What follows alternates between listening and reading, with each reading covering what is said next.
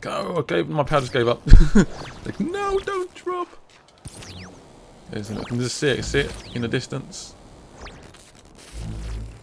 I can fly using my video tech. What's this guy doing? You know what, mate? He's just staring at a wall. Yeah. Bad life. Oh. what is he doing? Right, there we go.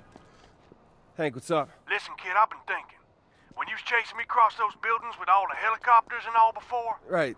Yeah, I'm I'm sorry about all that. I... No, I was just gonna say, you clearly been getting the hang of those smoke tricks I gave you. Well, I uh, kind of need you to teach me one more. You managed to escape her tower once. How'd you get past those electrified barricades? There's a transformer on a roof across the way you gotta shut down. But it ain't gonna do you no good. She got the whole thing armored up and half the DUP forces standing guard. Right, but maybe if we both work together... Hey, my specialty's breaking out of places like that, not in. Listen, we both got our reasons for getting to Augustine. She got something each of us wants. But we gotta do it on our terms, not hers. We gotta draw her out of her castle and out here, where we stand a chance. Well, any ideas? Well, you know them two kids that was on the armored bus with me? Fetch and Eugene. I guess.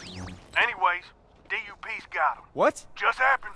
That was all the commotion before. Guess she needed to reel them in to make up for me getting loose.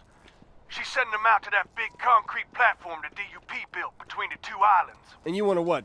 Rescue him? Way I figure is, if we go out to that island, set those two free and make enough ruckus while we're doing it, Augustine's bound to come running. Against all four of us, she don't stand a chance. Now, there's a pier right across from that platform.